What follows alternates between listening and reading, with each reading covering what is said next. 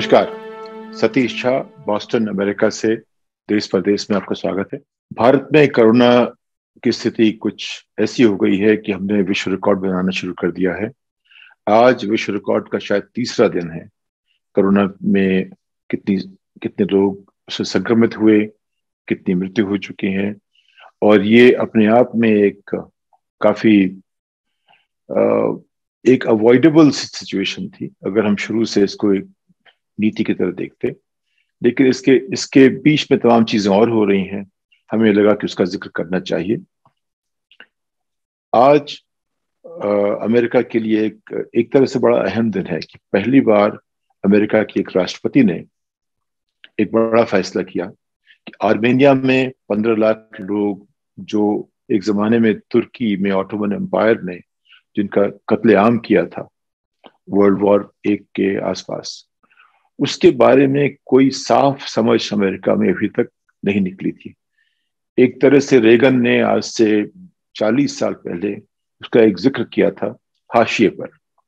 यह कि ये टर्की ने एक जेनोसाइड से किया। इस बात को कहने में बड़े बड़े देशों को सौ साल लग जाते हैं। एक छोटी सी बात नहीं है, बहुत बड़ी बात है कि पंद्रह लाख लोगों का कत्लेआम हुआ।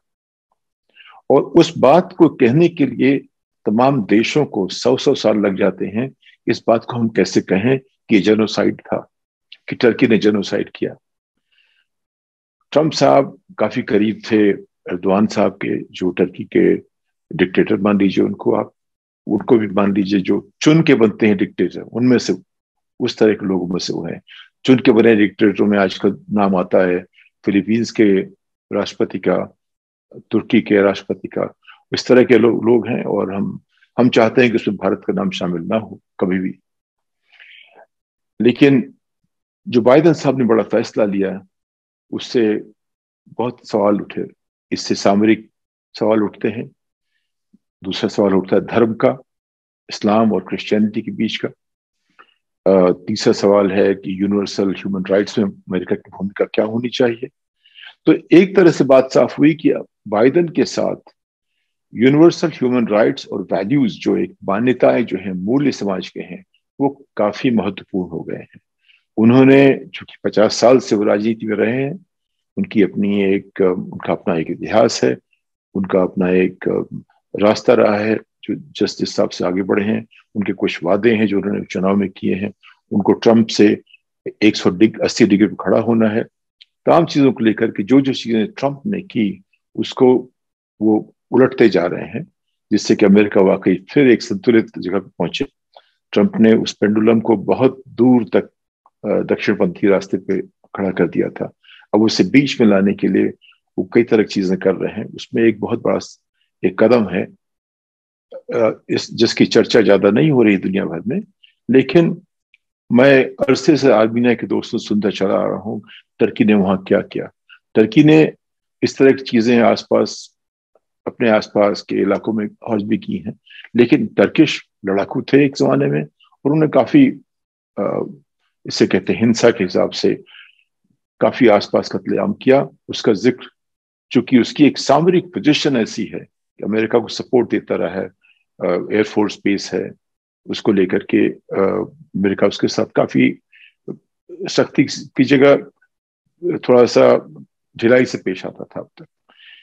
इससे कोई बड़ा नुकसान नहीं होने वाला है, सिर्फ़ पब्लिक रिलेशन के। लेकिन सबसे कम लागत में बाइडन ने एक बहुत बड़ा मुकाम जीता है, एक तरह से देखिए।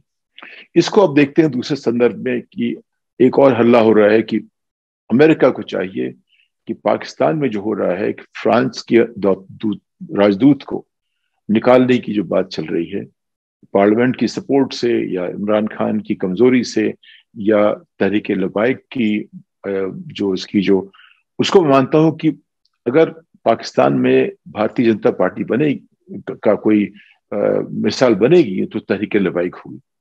उसका आज की तारीख में कोई भी सांसद नहीं है, उनकी नेशनल असेंबली में लेकिन सिंध में उनके तीन मेंबर हैं। लेकिन उन, बहुत छोटी सी, जवान सी पार्टी है, छह साल पुरानी पार्टी है, उसको पंद्रह अप्रैल को बैन किया गया। उसके बैन होते ही थोड़े से वो उन्होंने प्रदर्शन किए और इमरान खान साहब ने उनके साथ एक तरफ़ तो बैन किया, दूसरी तरफ़ ये बात उनकी मान ली कि उनकी बात को लेकर के राजदूत जो फ्रांस के हैं, उनको निकालने के लिए वो खुद फैसला कर सकते थे। उन्होंने खुद नहीं किया, उस बात को टाल दिया पार्लियामेंट की तरफ़। मुद्दा यह है कि फ्रांस के राष्ट्रपति मैक्रॉन साहब ने ये कहा कि जब पिछले साल जब एक फ्रांस के अध्यापक की हत्या कर दी एक उग्रवादी मुसलमान ने, क्योंकि उन्होंने पैगंबर की तस्वीर या कार्टून कोई दिखाया था। इसके पहले आपको याद होगा, एक चार्ली अब्दो का अखबार जो वहाँ का है, जो कि व्यंग का अखबार है उसमें भी इसी तरह की जब बात हुई थी तो वहाँ पे कुछ आतंकवादी पहुँचे, उन्होंने तमाम संपादकों को गोली से भून दिया। ये बात कुछ बरस पहले की है, कोई पैरिस में हुई थी बात। तो फ्रांस एक तरह से इक्वालिटी और लिबर्टी का एक स्तंभ रहा है। फ्रांस ने अमेरिका को अब एक तरह से अपनी कॉलोनी से, जो ब्रिटिश कॉलोनी थी, वहाँ से हट के स्वतंत्र होने में मदद की। फ्रांस के नाम पे स्टैच्यू ऑफ़ लिबर्टी उन्होंने एक अमेरिका को दी, जो कि अमेरिका की फ्रीडम का फ्रीडम स्ट्रगल का, आज़ादी का, और उनके अपने सोच समझ का एक सिंबल है। अगर सबसे बड़ा सिंबल अमेरिका कोई है तो स्टैच्यू ऑफ़ लिबर्टी है, जो फ्रांस ने अमेरिका को दी। तो एक जमाने में सत्रह सौ सत्तर अस्सी के आसपास दोनों देशों में काफ़ी एक तरह की, ये कहिए कि दोस्ती थी। उनके विचारों ने, फ्रांस के विचारों ने बहुत प्रभावित किया, अमेरिका के संविधान को प्रभावित किया। और अगर आप दर्शन शास्त्र में देखें, विज्ञान में देखें, लिटरेचर में देखें, फ्रांस की बहुत बड़ी भूमिका रही है लेकिन सबसे बड़ी भूमिका है लिबर्टी और इक्वालिटी की। ये वो देश है जहाँ उन्होंने जहाँ एक क्रांति के नाम पे उन्होंने अपने राजा की जान दे ली। राजा का गला काट दिया, रानी का गला काट दिया। वहाँ के लोगों में एक जो जो फ्रेंच रिवोल्यूशन की बात जो इतिहास वाले पढ़ते हैं, उसका हमारे एवोल्यूशन में ह्यूमन एवोल्यूशन में बहुत बड़ी उसकी भूमिका है। वहाँ के राजदूत को इसलिए कि फ्रांस के राष्ट्रपति ने कहा कि जो हुआ वो गलत है। जो अध्यापक जिसको मारा गया वो बहुत बढ़िया अध्यापक था। और हम इस बात को कभी स्वीकार नहीं करेंगे कि कोई आतंकवादी हमारे विचारों के लिए हमारे हमारे साथ इस तरह से पेश आए। तो उन्होंने उस बात को दोहराया, तारीफ़ की और कहा कि ये लोग जो, जिन्होंने हत्या की है, वो आतंकवादी है, उनसे लड़ना पड़ेगा। उस बात को लेकर के इस्लाम के जो आतंकवादी ग्रुप को मानने वाले हैं, वो कहते हैं, ये हमारे पैगंबर की तोहीन है। जो हम कहते हैं ईश्वर निंदा की बात करते हैं, खैर पैगंबर वो ईश्वर तो नहीं है, लेकिन पैगंबर की तोहीन की गई है, वो हम बर्दाश्त नहीं कर सकते, उसके लिए अपनी जान देते रहेंगे। अभी उन्होंने पाकिस्तान में चार पुलिस वाले मार दिए और कुछ लोगों को, कुछ जो भी चीज़ें हुई उनके पास तहरीक लबैक के पास इतनी ताकत ज़रूर है कि वो सड़कों पे लोग ला सकते हैं, सरकार को का चक्का जाम कर सकते हैं देश को रोक सकते हैं। ये उनमें ताकत है। इसके बावजूद उनके पास कोई भी सांसद नहीं है अपने देश में। उसकी वजह यह है कि एक जो, जैसे भारत में हिंदुत्व है, इसकी अपनी एक अपील है उन लोगों में। अगर आप लोगों से कहेंगे कि ये धर्म आपके खिलाफ है तो लोग पता नहीं कैसे जुड़ जाते हैं। तो पाकिस्तान में भी यही बात है कि क्रिश्चियनिटी जो है, वो इस्लाम का विरोधी है। और ये सारी बात कब शुरू हुई? एक मेम साहब थी आसिया बीबी जो आसिया नोरीन का नाम था। उन्होंने कुछ ऐसा कहा जिसको वहाँ के आतंकवादियों ने माना कि ये तोहिन की गई पैगंबर की। उसको लेकर के उनको मौत सजा की, मौत सजाई सुनाई गई। और उसके नाम पे जब एक सलमान तसीर नाम के गवर्नर थे लाहौर के, जब उन्होंने कहा कि ऐसा नहीं होना चाहिए, उसके साथ उसको सजा मौत नहीं मिलनी चाहिए तो उनके ही अपने एक सिक्योरिटी गार्ड ने उनकी हत्या कर दी गवर्नर की हत्या कर दी, सलमान तसीर साहब की। सो तब से जो है, एक माहौल से बना हुआ है कि आसिया बीबी आसिया नौरीन और आसिया बीवी, उनको तो खैर पाकिस्तान सरकार ने उस पर इतना दबाव पड़ा दुनिया का कि उन्होंने मिलिट्री को इस्तेमाल करके एयरफोर्स के चार्टर्ड प्लेन का इस्तेमाल करके एयरफोर्स का इस्तेमाल करके, उनको किस तरह से पाकिस्तान से निकाला। उस, उसकी हत्या नहीं करनी थी उसकी राजनीतिक हत्या नहीं करनी थी उसकी सरकारी हत्या नहीं करनी थी किसी भी तरह से उसको निकालना पड़ा क्योंकि दुनिया भर का बहुत प्रेशर था पाकिस्तान के ऊपर। इस सब के बावजूद जब वो आसिया भी चले गए और 2015 में जब तरीके लबैक की स्थापना हुई, तब से इन लोगों ने फिर 2017 में भी कुछ ऐसे मुद्दे उठे जब उन्होंने कोशिश की कि फिर से बहुत बड़ा दंगा किया जाए। तो इनकी तरक्की लोगों को जोड़ने बहुत ज़्यादा हुई है लेकिन चुनाव अभी जीत नहीं पाए हैं।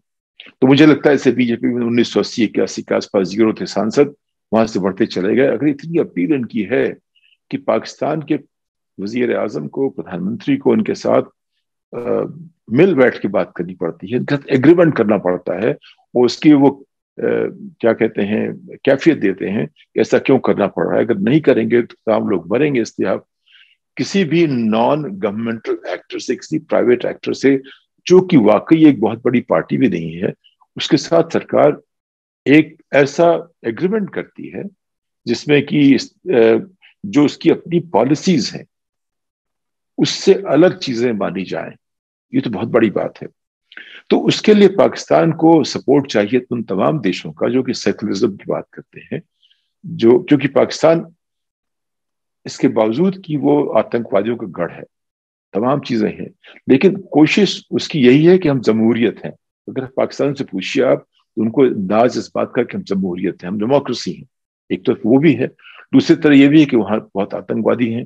क्योंकि तमाम जो उनका सोशल फैब्रिक है, वो काफ़ी उसका जो इतिहास रहा है, जो जो अफ़गानिस्तान के दक्षिण और पश्चिम इलाके के जो ट्राइब्स हैं उनकी जो लड़ने की जो आदत थी एक तो वहाँ और दूसरा जो इस्लाम के नाम पे एक फंडामेंटलिज्म की जगह है। इन दो चीज़ों ने उसकी और, और, और साथ साथ मिलिट्री की जो अपनी जरूरतें हैं उन सबने उसको स्टेट को थोड़ा कमज़ोर हमेशा रखा है। तो फेल्ड स्टेट तो नहीं माना जाएगा। उसमें एक एस्पिरेशन है डेमोक्रेसी बनने की।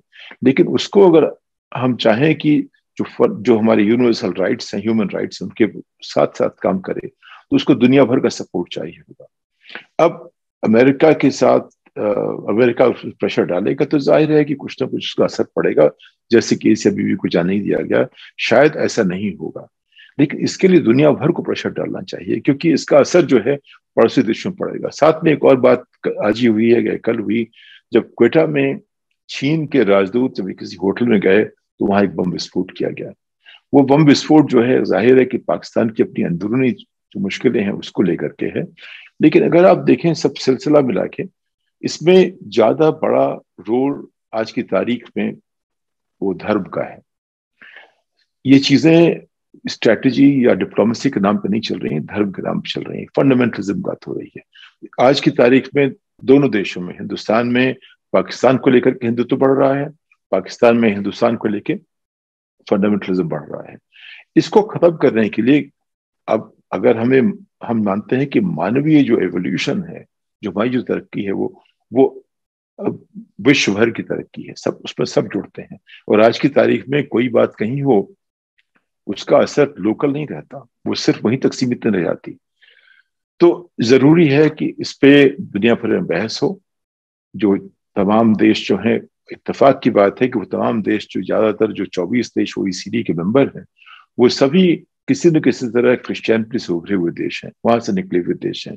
जो आज की जो तरक्की, जो दुनिया भर की आर्थिक तरक्की है, जो इंडस्ट्रियल रेवोल्यूशन हुआ इंफॉर्मेशन टेक्नोलॉजी रेवोल्यूशन हुआ, उसके जो क्रिएट जो बनाने वाले हैं, जो बेनिफिशरीज हैं, वो ज़्यादातर लोग क्रिश्चियनिटी वाले हैं। मैं एक छोटी सी बात कहूँ जब मैं अमेरिका पहली बार आया, उन्नीस सौ चौरासी में तो मैं यहाँ टीवी पे देखता था, कहते थे, अगर सारे देश दुनिया क्रिश्चियन बन जाए तो सारी समस्या हल हो जाएँगी। वो ज़ाहिर है कि ठीक नहीं है। लेकिन ये बात उस पर थोड़ा सा सच ज़रूर है, आज की तारीख में जो भी विकसित देश हैं, उनकी जो जड़ें हैं, वो क्रिश्चियनिटी से पता नहीं क्यों जुड़ी हुई हैं। भी हमारे पास सोचने की बात है कि ऐसा और और धर्म के लोगों के साथ ऐसा क्यों नहीं होता? तो वो वो बहस का, ये आज उस बहस की जगह नहीं हमारे पास है।